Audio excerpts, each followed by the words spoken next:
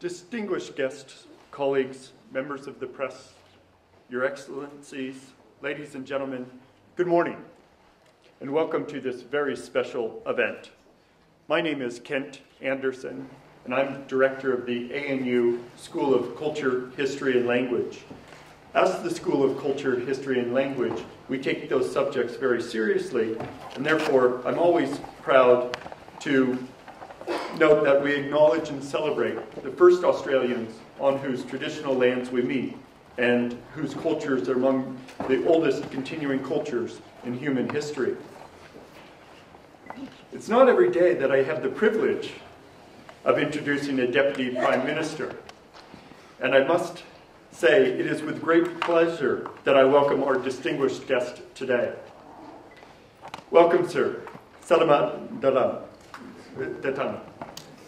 To the ANU. We are honored by your visit here and see it as a recognition of our tradition of Malaysian and Malay studies at the ANU. Your presence on our campus is a symbol of enduring relationship as educators, scholars, neighbors, and most importantly, as friends. As most in the audience will know, Tan Sri Dato Haji Muhyiddin is Malaysia's Minister of Education, as well as Deputy Prime Minister. I was very interested to learn that holding the education portfolio is normally a prerequisite to becoming Prime Minister. The high value placed on education says profound things about Malaysia's national commitment to ensuring that its citizens are educated, prosperous, and engaged. His Excellency, Deputy Prime Minister, grew up in Johor, and I am advised that Johor is a state with a reputation for independent-mindedness and self-reliance.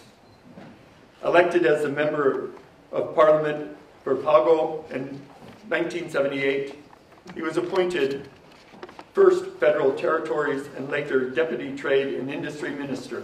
From 1986 to 1985, he was chief minister of his home state in 1995, he was appointed to the Malaysian cabinet as Minister of Youth and Sports. After the 1999 election, he became Minister of Domestic Trade and, and Consumer Affairs. From 2004 until 2008, he served as Minister of Agriculture and later as Minister of International Trade and Industry. He was appointed Deputy Prime Minister and Minister of Education on the 9th of April 2009. Educated in economics and Malay studies with a wealth of experience in this vast variety of portfolios, our distinguished guest is Prime Minister and Education Minister of a state with 28 million people and a country that faces major challenges as it seeks to participate in an increasingly globalized world.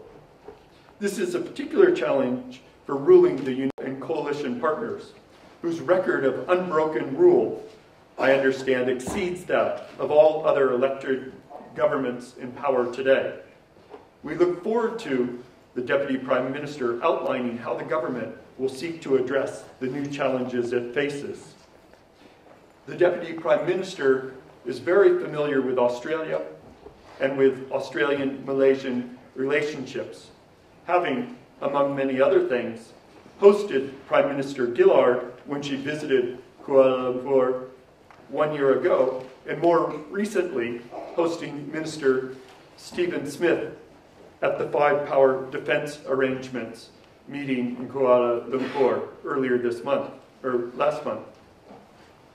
With that, ladies and gentlemen, please welcome the Deputy Prime Minister of Australia, or Deputy Prime Minister of Malaysia.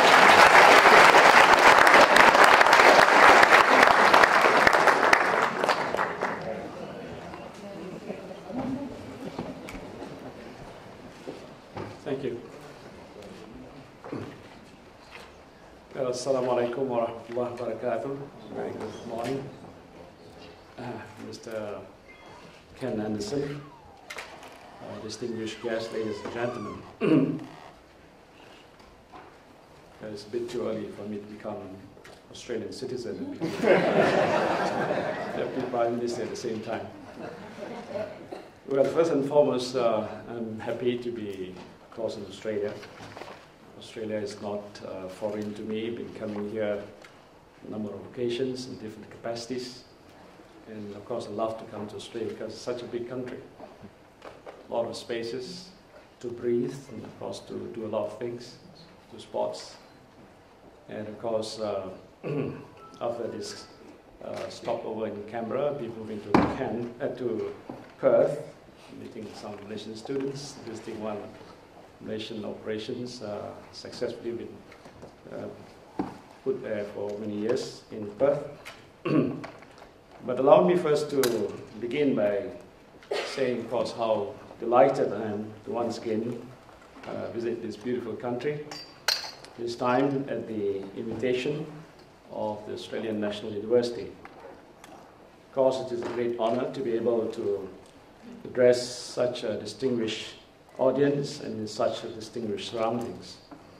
The ANU, as we know, has ably educated many of my fellow countrymen, as it has uh, many of South Asia's best, and it is only right that I take this opportunity to say how appreciative I am of this esteemed institution. Prior to walking here from where we were this morning, we have a chance to meet the Vice Chancellor, Mr. Ian Young, and uh, discussion was focused on how we could enhance further our collaborations. And I have agreed in principle to the setting up of the Malaysian chair for Malaysian or Malay studies here in the ANU. So we'll be working with the Ministry of Higher Education in Malaysia and see how fast that this project can take off here in ANU. Thank you.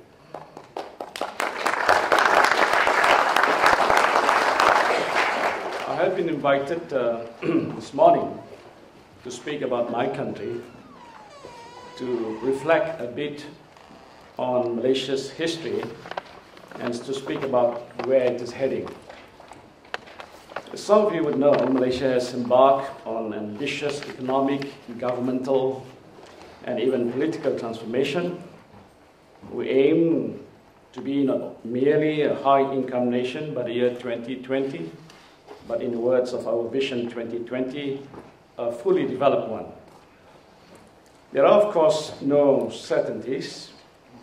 I also do not have to tell you that the world economy is more than a little shaky at the moment. Nevertheless, I hope to convince you that we are fully committed to this path of progress. And of course, I hope to show you that it is not merely a case that we can do it, but that we must.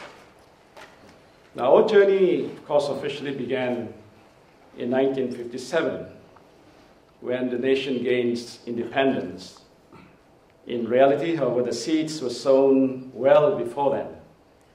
Australia and Malaysia share common colonial past, but one that is fundamentally different in many ways. One key difference was that from the very first day that Malaysia was formed, it was ethnically and religiously polarized. And this is not something that we have to be apologetic about. It was a condition that, to a very large extent, was inherited from two centuries of British rule and could have easily proved to be a liability as it had elsewhere in the world. In order to win independence from Britain, however, it was necessary for the various races and cultures to come together. Thus, in what uh, scholars have referred to as the Great Bargain, it could equally be called the Great Accommodation. Large numbers of Chinese and Indian immigrants then were offered citizenship in return for accepting the role of the Malay rulers, Islam, and the Malay language in the newly created country. Certain other rights were also accorded to the Malays and the Bumiputras in the federal constitution, in assisting them to improve their well being. In 1963, when Sabah and Sarawak joined the Federation, there was the added spatial dimension. that had to be added to the ethnic and religious ones in nation building. Now, when you hear the term nation building used in Malaysia, it isn't just about the creation and strengthening of political and civil institutions. It is about the welding together of different races, different religions, and course localities into one cohesive nation. Uh, 53 years down the road, uh, this is still a work in progress, but more about this and one Malaysia later.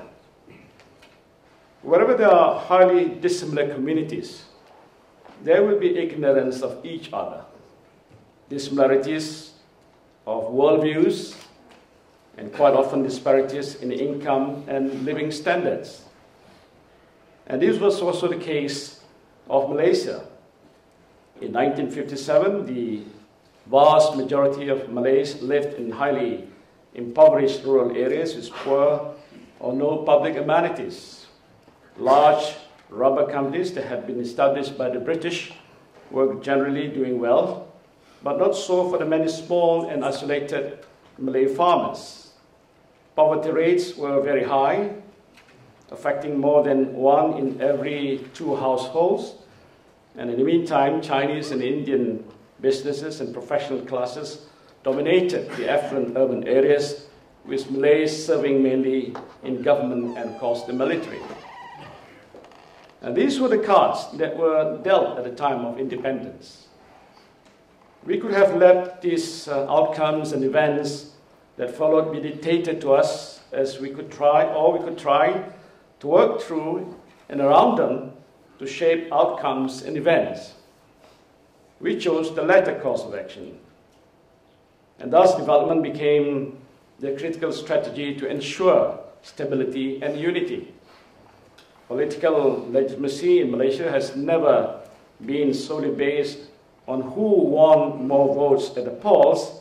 It has been based on who can deliver the goods in a way that satisfies the various communities. The five-year Malaysia plan have therefore been and continue to be a very important documents to this day. Now, despite the efforts made, it was apparent after a decade of independence that not enough was being done. The Malays and natives of Peninsular Malaysia, Sabah and Sarawak were being fast left behind economically, even as they were being challenged politically. In an event that deeply scarred the nation, communal riots broke out in May 13, 1969. The riots were a national tragedy, of that one can be very sure of. But if there was a positive role side, a positive side to it, it was that it brought national focus and reflection on how to proceed. Now, after multi-party consultations, the decision was made to accelerate the fortunes of the Bumiputras through mass affirmative actions, thus the birth of the new economic policy, or the NEP. The NEP was conceived as a bold attempt to eradicate poverty regardless of ethnicity and to restructure society so as to eliminate the identification of race with economic function. It also explicitly recognized that in order for it to work, there had to be economic growth. It was not, not a crude means to merely transfer wealth from one party to another. Now, this is why detractors of the NEP have been unable to explain why the period following the instruction was marked by economic growth rather than disaster, as they predicted. In 1970s, for example, growth rates averaged 6%, and this rose to around 8% for most of the 1980s and the 1990s. And it was at this time that Malaysia managed its first economic transformation, namely to diversify itself from primary commodity exports to manufactured products. The reason why transformation was possible at all was because Malaysia, which was already highly export oriented at the time of independence, opened itself further to the forces of globalization. Openness has, for better and worse, been a distinguishing feature of the Malaysian economy. Tariffs and non tariff barriers were progressively brought down as the government coveted and collectively or actively courted foreign direct investment and provided a generous tax and other incentives to attract it. The FDI helped to absorb the large numbers of unemployed and underemployed and lifted large numbers out of poverty. The high propensity of foreign investment meant that export from their productions, management skills, and technology has enabled the country to industrialize and break the resource trap that had tightly gripped many countries. At the same time, we undertook important measures to build lasting institutions and regulatory systems that facilitated economic activities and, of course, balanced the economic structure. In 1990, Prime Minister Mahathir Mohamad gave a speech that galvanized the country and, of course, the developing world, simply entitled Malaysia, the Way Forward. It contained references to Vision 2020, which set out the aim of being a fully developed nation by 2020. And this emphasized not just development in economic terms, but holistically. In the late 1990s to the mid 1990s, or the late 1980s to the mid 1990s, was some of the best years the Malaysian economy ever had. Malaysia was an early mover in privatization. The equity market was active. The capital account of the balance of payments were being liberalized, and foreign capital was withdrawn to the Malaysian shores hard infrastructure, such as highways, ports, and airports, were built to provide the foundation for future growth. And this was accompanied by investment in hospitals, schools, and universities to ensure that Malaysia's development is holistic and encompassing. And this scenario changed when the Asian financial crisis hit.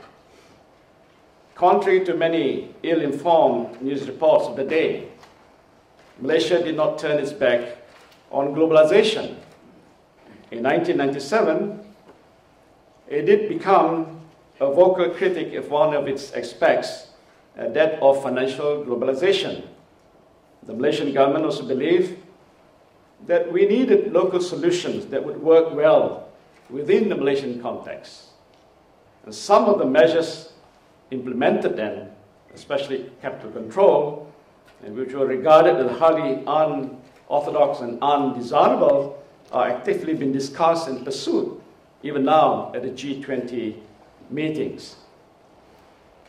Now, the period following the Asian financial crisis was characterized by moderate economic growth and, of course, lower private investment rates. This, coupled with the advance of China and other newly emerging economies on the world scene undoubtedly affected the rate of industrialization and manufacturing. Services, however, continue to grow, while Malaysia's oil, gas, and primary commodity exports saw good growth, due in no small way to the rapid growth of China, but also India, Brazil, and the ASEAN countries. Now, in this environment, and as is happening elsewhere in the world, income disparities grew wider. There was an urgent need to respond to this situation, not just to avoid a political backlash, but socially instability as well. Great effort is made to develop the middle class in Malaysia, but while there is clear evidence that this is growing, the numbers that have been left out and falling behind are obvious as well. The nature of the Malaysian society is such that while other governments may turn a blind eye to these developments, Malaysia cannot afford to do so. It is politically suicidal and, of course, nationally hazardous. And this is especially true when the cost of living, partly driven by energy prices, has increased significantly. Moreover, as the economy progresses, the people's needs would also be greater. There is only so much, however, that the government can do in keeping these costs down. It has a responsibility to the present generation, but also to the future one as well. And that is why it has begun to remove distortive and wasteful subsidies, expand public transport, and of course introduce affordable housing at the same time. The comprehensive answer to the welfare problems is not keeping costs down, but raising income in a productive and sustainable manner.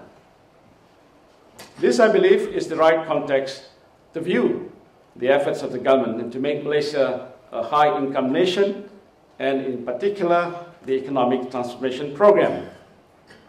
Many people wrongly think of it as a means of making the rich even richer.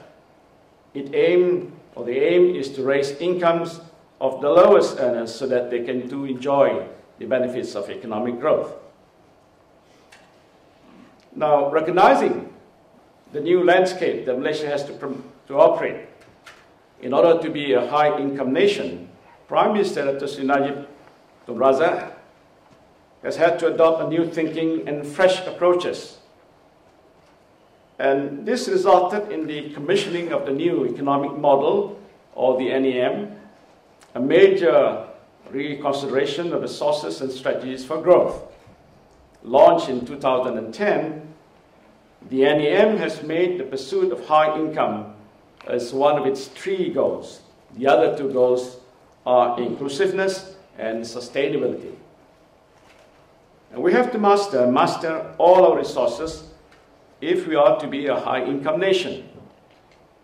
The Malaysian economy will have to grow at 6.5% annually for the next eight years if we are to more than double our per capita income to 15,000 US dollars by 2020. We need structural reforms and flexibility to respond to internal and external changes, all the while improving productivity and boosting incomes. Now, this is why the first track of the NEM has to do with sharpening competitiveness, promoting entrepreneurship and innovations, and building a knowledge infrastructure for human capital development. I cannot overemphasize the importance of human capital to create a large pool of intellectual, entrepreneurial, managerial, scientific, and technical talents. Obviously, however, this will not take a few years, or this will not take too long, or even a decade. It may take one or seven or two generations. As Minister of Education, I have always strived, and of course, we'll always strive to deliver high quality education for all the people and not just some. Then improving educational facilities, strengthening teacher skills, and expanding technical education are just a few of the many initiatives taken by the Ministry of Education to produce a strong human capital. Now, the second track is attracting and stimulating investment, particularly in 12 areas.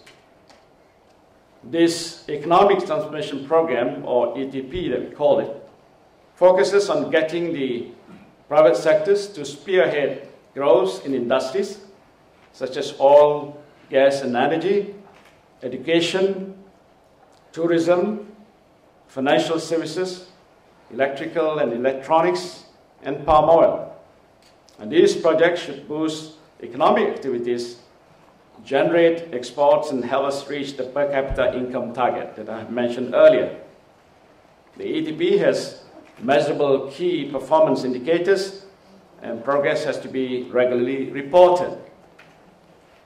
All, as these investments are critical, the government has paid extra extension to facilitating their implementations. Economic transformation only be successful if the benefits of growth are widely shared. We know that markets by themselves do not ensure significant trickle-down effects. High income does not translate to all sections of society, improving, and the government recognizes that. The NEM has therefore made lifting the standards of living of the bottom 40% of households as a key policy thrust. More efforts are taken to increase income level of this lower income group, even as the social safety net is a large and rising cost of living mitigated. Now, the public sector is a key partner in national transformation policy journey for it is a facilitator as well as growth catalyst. Thus, in parallel with the NEM, the Government Transformation Program, or GTP, was initiated. The objective of the GTP is twofold. First is to transform the government to be more effective in its delivery of services and accountable for outcomes that matter most to most people. And second, to move Malaysia forward to become an advanced, united, and just society with high standards of living for all. The GTP seeks to ensure a high service level for provision of public goods and at the same time the creation of governance framework for a holistic development. Seven national key result areas, or NKRAs as we call it, have been identified, namely one, reducing crime, fighting corruption, improving student outcomes, raising living standards of low-income households, improving rural basic infrastructure, improving urban public transport, and mitigating rising cost of living. The new economic policy was the first economic transformation strategy, and it was successful in growing the Malaysian economy with stability and equity. Leading up to the NEM, the relevance and efficacy of the affirmative actions under the NEP were raised. It is clear that the objectives of the NEP, namely the eradication of poverty regardless of race and the structuring of society to eliminate identification of economic activities with ethnicity, are still relevant and important. In this regard, the economic transformation will continue the objectives of the NEP, but its implementation will be market-friendly, transparent, and based on merits and needs. The high-income nation that we aspire must be inclusive so that everyone will benefit and no group or region is marginalized. And the outcome of these transformational journeys should be an economy that is competitive and globally linked, entrepreneurially and innovation charged, private investment and human capital driven, and well-functioning institutions.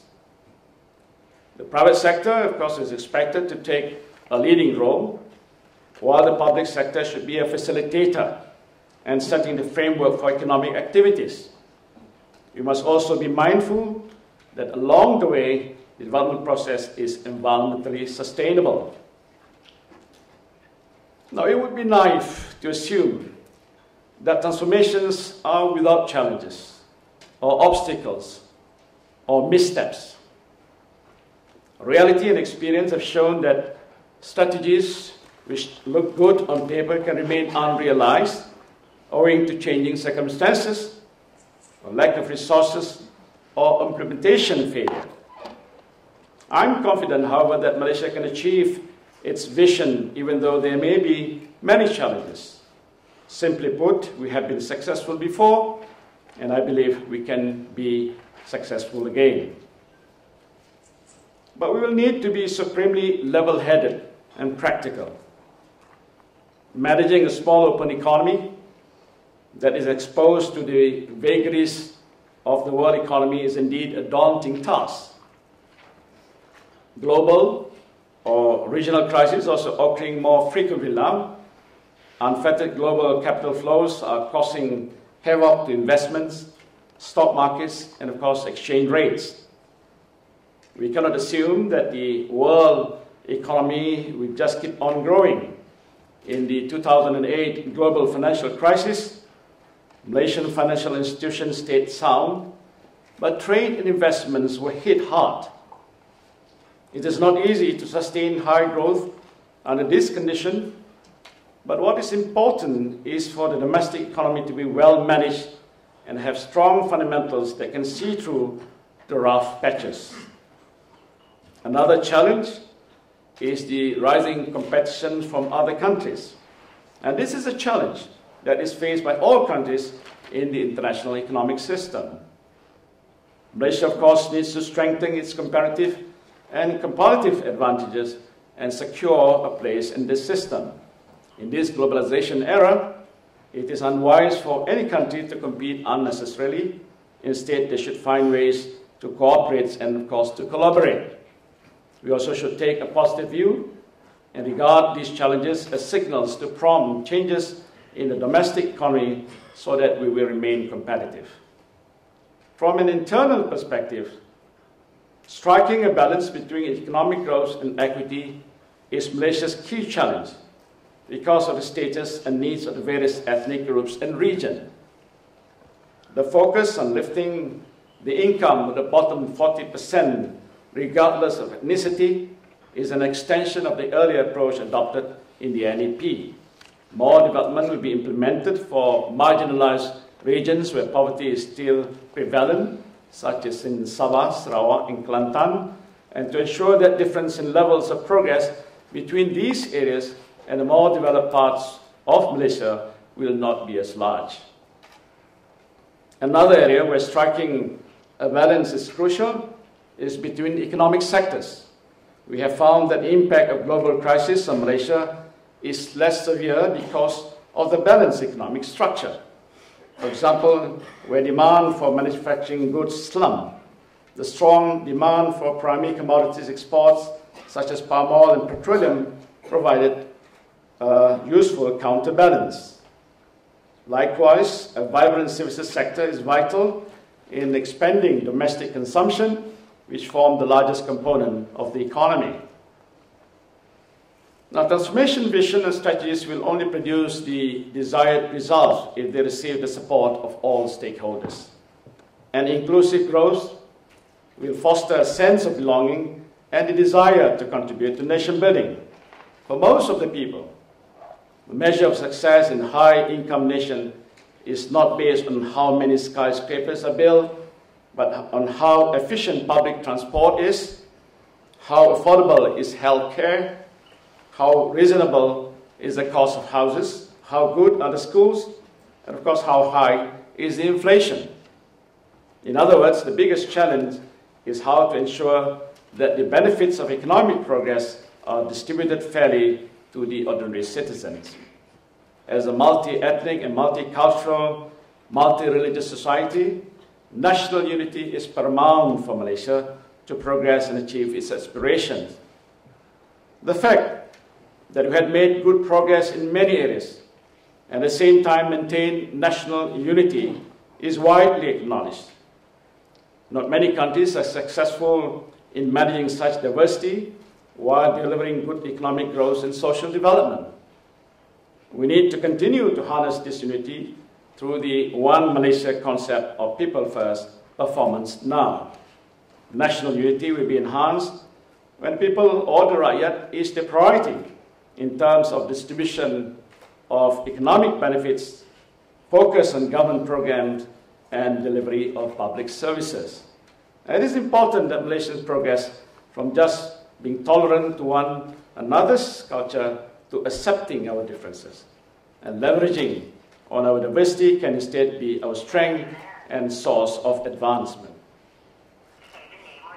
Of late, of course, there has been robust discussions on political transformation and for more political space. The third and least publicized is the political transformation program that is undertaken as part of the journey to be a developed country. In the political transformation program, the government take cognizance of the need to change, be relevant, and reinvent in a way that meets the aspirations of our people. We are conscious of the fact that we need to do this step by step, but also make tangible progress. the repeal of the Internal Security Act and other emergency acts this year is an indication of the government's initiative to provide a conducive and right environment for high income and developed nations. Distinguished guests, ladies and gentlemen, is, if there is one thing that I hope to have disabused you this morning, it is the idea that Malaysia is undertaking economic and political transformation simply because we want to be more affluent. Of course, we want to be affluent, but that is not the driving motivations and indeed would not be sufficient for the many heavy sacrifices that have to be made. The reason for these transformations are being undertaken is because it is the only way to permanently solidify social peace and tranquility in our country. I've stepped back in Malaysian history because I want to demonstrate that the new economic model and the economic transformation program should be seen as continuum of government policies and efforts, all of which have had this unwavering aim. I hope this has given you a better understanding of what the Malaysian government is doing and a sense of things to come. I wish to again thank the ANU for the invitations and the platform to come forward today and share Malaysia's development vision, aspirations, and journey with all of you. Thank you.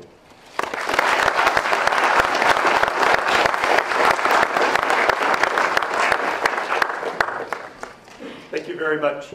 Um, the Deputy Prime Minister has agreed to take uh, some questions for about 15, 20 minutes. Uh, we'll take those one at a time and I'll just act as traffic controller when I see the hands. Start one here. Thank you, Tan for your talk. Um, acknowledging your current um, administration uh, commitment on political reforms, I would like to ask you, um, why was the government, uh, why was the government so expedient on um, on passing the law of uh, Peaceful Assembly Act, and why were the recommendations from the Bar Council uh, not considered in the formation of the Act? Thank you very much. Well, thank you very much. I sort of anticipated this question would come here. It's a hot subject. But of course, uh, as you know, Prime Minister Datuk Najib, on the eve of the celebration of Malaysian independence, on 16th of September this year, made a very, I would say, important speech, which basically means uh, recognizing that uh, Malaysia has moved forward. We need to provide more space in terms of expressions and, of course, to ensure that Malaysians can participate more effectively in all, walks of life. That he has announced a few major decisions of the government. Basically, of course, one is the ISA, the abolition of ISA, the repeal of the emergency ordinance I mentioned earlier, and a few other legal instruments, and that has been uh, done at parliament level. On this issue of the uh, peaceful assembly bill, which was tabled just a few weeks back, it is just another of those uh, indication or manifestation what we believe is needed. Uh, as you know, prior to this, of course, uh, assembly of sort uh, Malaysia is not something which we sort of had uh, restricted. There are processes and procedures uh, basically being handled by the police under what we call the Section 27 of the Police Act, where you can assemble, but before that, of course, you have to apply for permits. There are rules and regulations that need to be fulfilled. In some cases, you are allowed to do it. In some cases, you are not allowed to do it. This new bill, of course, provides much wider avenue. There is no restriction. I've uh, asked some information, what are the latest information as regard the Peaceful Assembly Act. Now, one, of course, uh, under Section 27 of the Police Act, which is the previous act before this Assembly Act was uh, enacted and approved by Parliament, application for license is a must for all assemblies. Now, the new Peaceful Assembly Act, which we were just passed in Parliament, no license is required, only a notification. So, very much an improvement of what it was before. And uh, notification is not required for assemblies held at designated places and other assemblies specified in the third schedule. So in the previous, uh, of course, rules is you have to apply, you have to state, state specifically where you want to have it. But now with this uh, laws, uh, which is passed and of course will be uh, uh, put into force very soon, uh, you could just assemble anywhere you like. And if this, those are the areas which have already been, been determined, predetermined early by authorities concerned, basically by the police, there is no need for you to apply for license. You just gather there and speak as loud as want and as many as people can gather. So it is a much better improvement because it's no, we will not say we stop you from doing it. Uh, and then, of course, the uh, procedures before that you need certain time. Now the uh, laws has already provided for a much shorter period, and organizers shall 10 days before the date of the assembly notify the officer in charge of the police district in which the assembly is to be held. So instead of the earlier proposition of 30 days, it has been reduced to 10 days. But even after five days of submission, there's no response from the authority, you can proceed to have whatever gatherings and assembly that you want. So that's, uh, that's I think, is an improvement. And uh, well, in the earlier laws under Section 27 of the Police Act, an assembly which takes place without license shall be deemed unlawful. Now, assembly under the present Act may proceed as proposed if the OCPD, this officer in charge of the police department, does not respond to the notification within five days of receipt of such notice. So basically, there's no restriction. So obviously, you can compare to the old laws, which is brought in under what we call the Police Act, and this specific law. Is a much better law. The only thing that people raise here issue is why don't you allow people to demonstrate on the streets?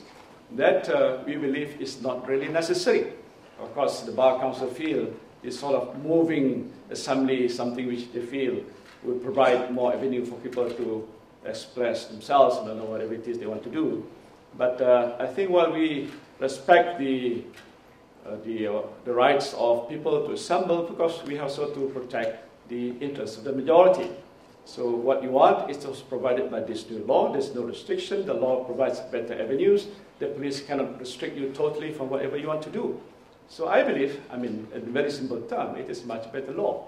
So it provides better avenue formulations to organize things and say what you, want. Yeah. Next one. Minister, following on from that uh, question, and in your answer you mentioned the police still have 10 days to uh, either allow the assembly to go ahead.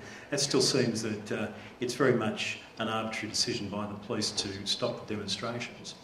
And therefore, in that context, what's the government's attitude towards the growth in the use of social media, particularly by the younger generation in Malaysia on these issues? Well, I think uh, we, have, we are part of the global community. It is something that we have accepted that the social media plays a very important role. And there's no way that we can restrict, no way that we can stop, even though there's certain laws that could apply for it uh, in case you are seditious or whatever it is. There are certain laws, but basically it has become, I would say, uh, an instrument of expression, not just by young people. I think even people like us now are much more savvy than we used to be 10 or 20 years ago. So, but uh, we do recognize this role, and the uh, cabinet, much, much earlier before, has already made a decision that we are not going to censor anything, uh, or the internet for that matter. Uh, but uh, we would like to see Malaysians in general, of course, the global community at large, be responsible whatever you do. Not that you are above the law. There's certain thing that you spell out in your blogs, in your Twitters and whatnot, if it has created certain problems to the community at large, it is also the responsibility of any government to ensure that they must maintain peace and stability at all times. So I think uh, while we do acknowledge the important role that social media has played in, in terms of uh, developing intellectual capacity, in terms of communicating, in terms of expanding knowledge in many, many fields, it is a, a standard that we have accepted today. And I think Malaysia is not an exception. It is something that we believe is important, but uh, we will have to deal with it as we get along. I think something that uh, there's no law to govern uh, what called an expression in, uh, in the internet and. But of course, as we say, if, if certain expressions would create a certain uh, conditions in society that will affect social stability or political stability. Or it has created dissensions among the population, especially in Malaysia, we have got mixed race and religion. We are very particular about that. We have experienced 1969. So there must be some way of managing those things. So what we want to see, of course, is more important citizens. Of course, social media is something we, which we acknowledge. Uh, it is a standard norm nowadays, than an exception. Ken, I've been standing here for five minutes. I'm sure you've noticed me. Can I ask a question? That's okay. It's all right.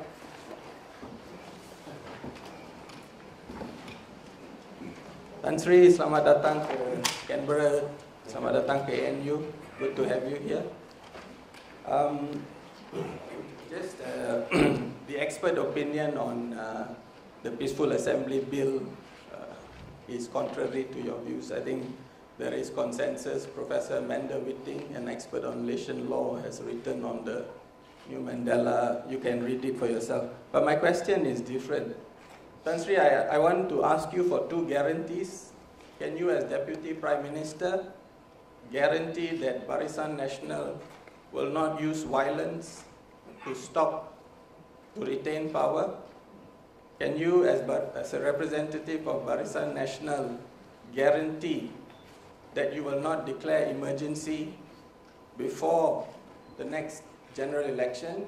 And can you, as Deputy Prime Minister of Malaysia, guarantee that you will not declare elect, uh, emergency after the 13th general election to annul the results? Thank you.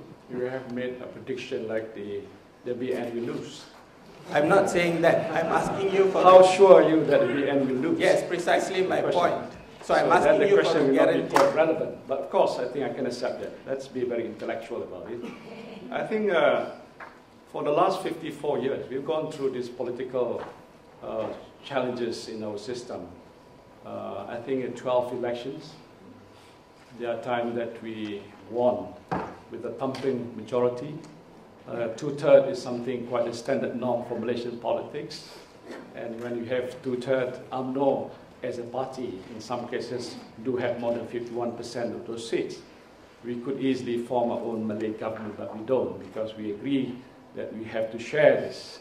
And this is the BN uh, coalition concept. All about sharing of power. So irrespective whether whichever party is dominant in terms of the number of seats, we work together. And it's been working very well. Of course, there are certain times, and the last 2008 is a very classic example, when we lost the two-third majority. And because at the same time we lost a number of states. For example, the state of Kelantan, Penang, Perak, Selangor, Wilayah Persekutuan. Now, if you feel that there is some way of government manipulating the situation whether through process of elections or through other enforcement agencies, you could uh, imagine from what you have anticipated there could be some problem.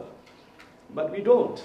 And we, we do accept because we have been very matured in our political understanding of the whole process. We respect the constitution, we respect the views of the people, we accept any decision though it is not in our favor, sometimes in, in election, sometimes in the court of law. Uh, we have been always, I would say, uh, subject to all these laws. We have been respecting this all the time. And there's no problem. I think, a, I think the Malaysians have been quite used to the way how the BN government uh, acts itself uh, responsibly.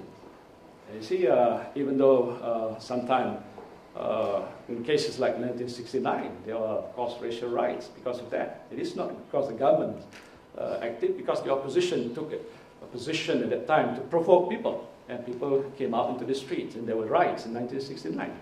So I do not believe that we will need to face that problem anymore, because being a responsible government means we're not thinking of our own political party. We're not thinking of our own self. We're thinking of the nation as a whole. We respect any decision that people make. And I think people do make their own decision based on fair assessment. So to presume in this stage there will be emergency to presume in this state there will be chaos. I fear that might come from the other side.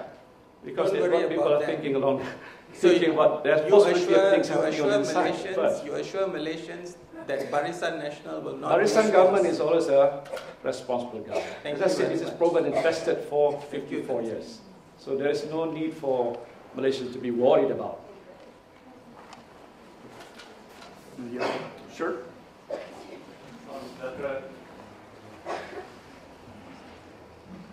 Salam Sejahtera Tan Sri.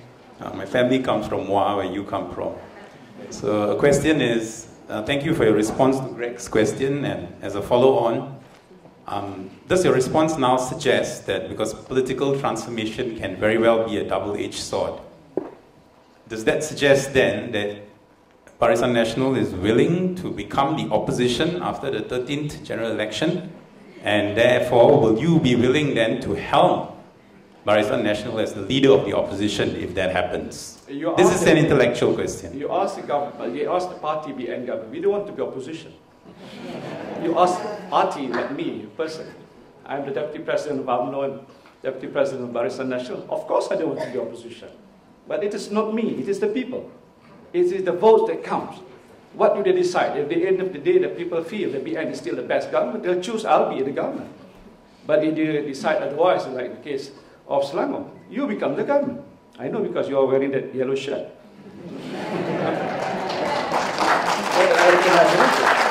So we, we have been mature enough. I think for five decades they've gone through all the system.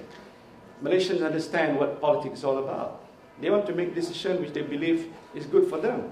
Not that they have been misled, or but whatever decision. And every time uh, uh, a by-election, for example, that we had in Malaysia, there's 16 by-elections. I think it must be a world record of sort. And I, I, I managed eight of the, uh, of the 16 by-elections. And uh, there are cases where we lost. There are opposition who believe that there must be some meddling of the votes. Now, if I can meddle the votes, why should I lose? I should win all the time. But no, I lost. But also at the same time, I win. So, I mean, there are, these are the things, the facts of life in Malaysia that people should understand. There must be trust in the system. The institution have been set up not because the BN government set it up and it has to be always pro BN. They have been very professional. The election commission has been professional. The way how the voting system is managed is very professional.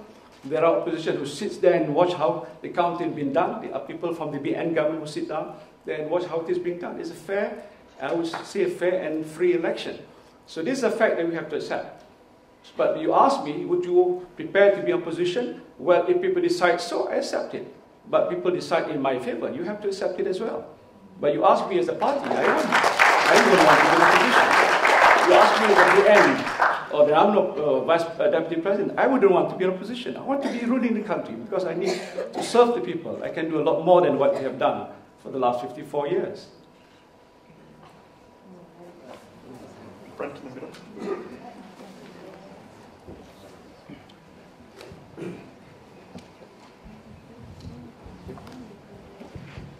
Uh, Bejan, uh, a PhD student at ANU.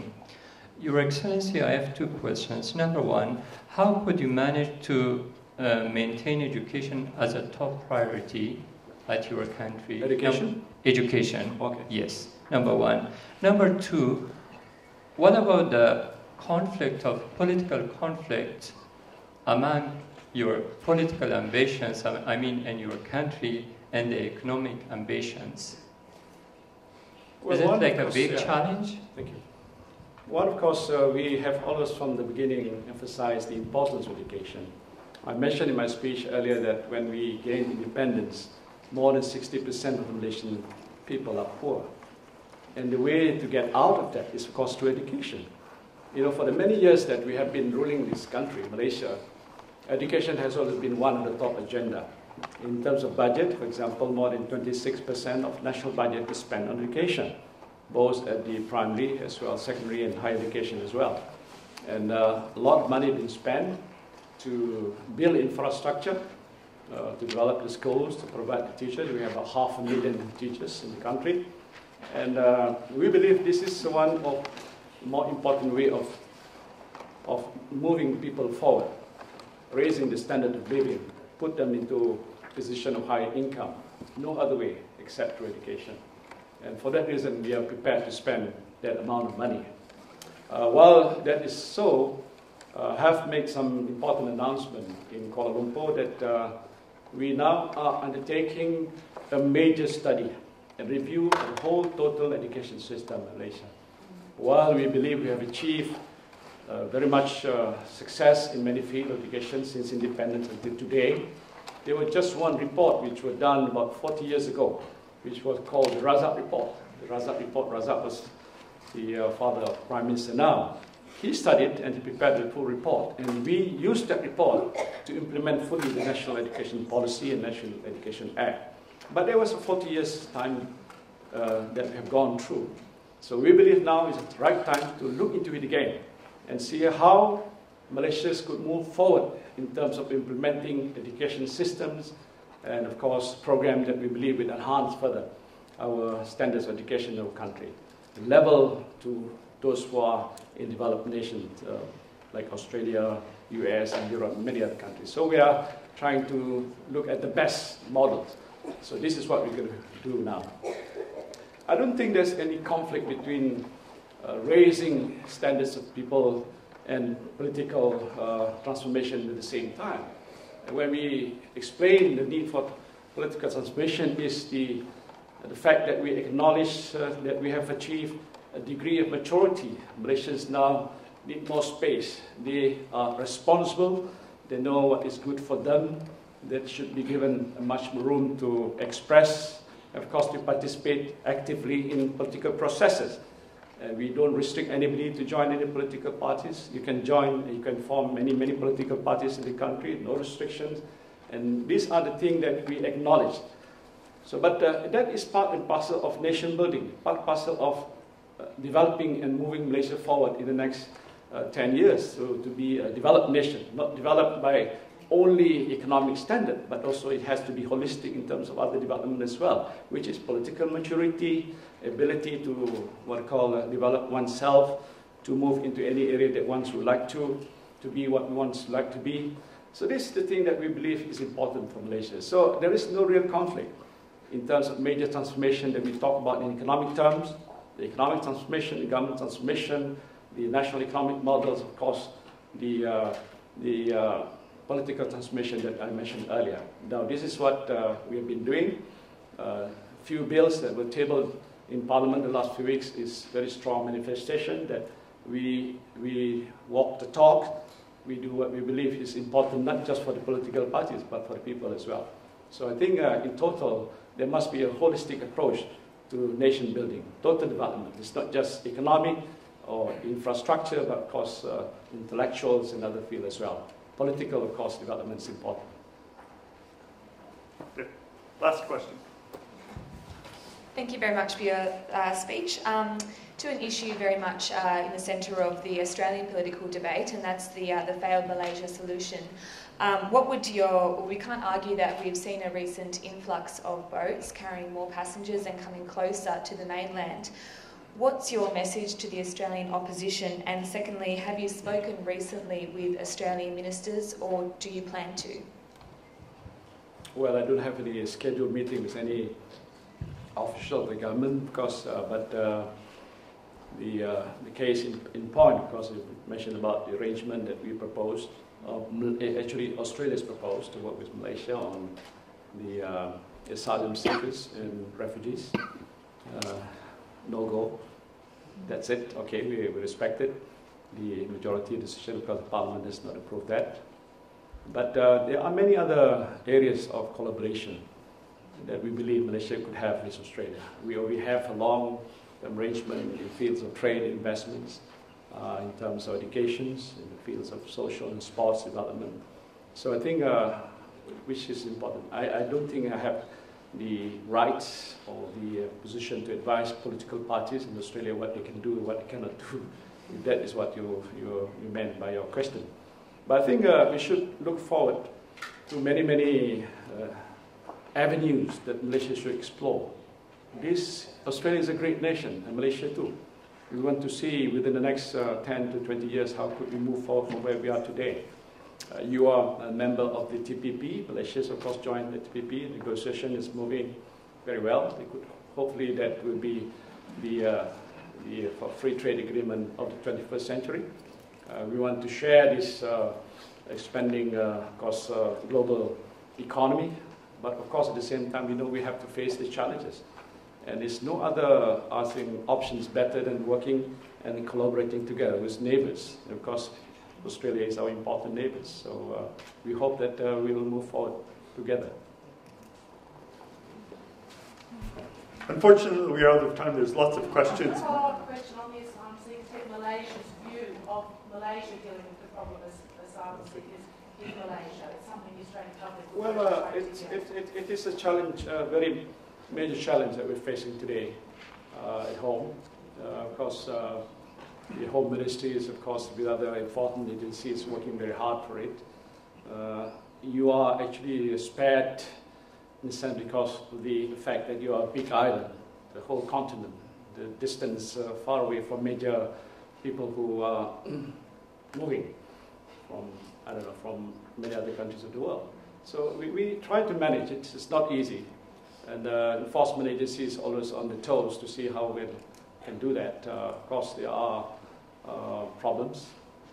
While uh, we are of course, uh, signatory to the Convention of Refugees, when they are refugees, you know, the Viet Vietnam came, those were the years we put them in the whole island, we manage to feed them, do whatever we can, though we are not signatory to that, because it's basically humanitarian problems. So we look into that as, uh, as, a, as a way that we need to help. But uh, of course, it's a subject that uh, not dealt on Malaysia's alone. We collaborated with many other countries. We work with our neighbors, and of course we work with our so-called uh, members within the Commonwealth. So there are so many uh, working groups that will form a regular meeting and discussion how this uh, uh, standard operating procedures can be established so that uh, countries can share and help each other in this area. It is, it is a difficult subject matter, but of course something that we need to do to deal with. Thank you. Unfortunately, we're out of time, but fortunately, uh, there's a reception immediately following this, and the prime minister or the deputy prime minister is available uh, for 30 minutes. So, uh, in a more informal setting, hopefully, you can pursue some of these questions. Please join me in thanking the deputy prime minister.